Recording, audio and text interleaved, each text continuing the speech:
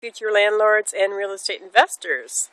Welcome to this house. It's my rental on the corner of Prospect and Adams in Pierce County. Renters have just moved out and I'm getting ready to prepare the house for the next set of renters. And perhaps you're wondering, well, how does an investor do this? How does a landlord approach a house and get it ready for the next renters? Well, the first thing you have to remember is first impressions are everything. So what's the first impression here? Well, it's the yard. Okay, so let's take a quick peek here. The, the garbage is going to be picked up. I have a tree in the front yard that my lawn guy's coming to trim. The former renters, all they did was weed whack the yard, so I've got to have that taken care of, and you'll take care of that. Remember, first impressions. Okay, elevation of the house. I can see the front porch is filthy.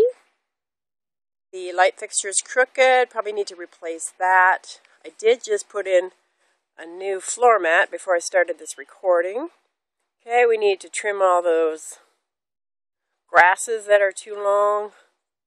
Put the rest of the recycle on the curb for the collectors.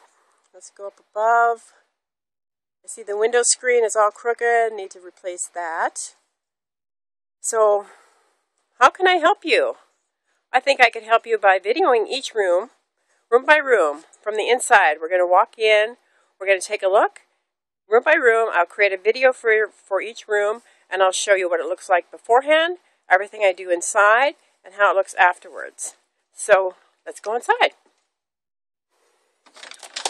Okay, we're going to start, obviously, in the front room. We'll work here. In the entryway, we'll work our way into the living room and dining room.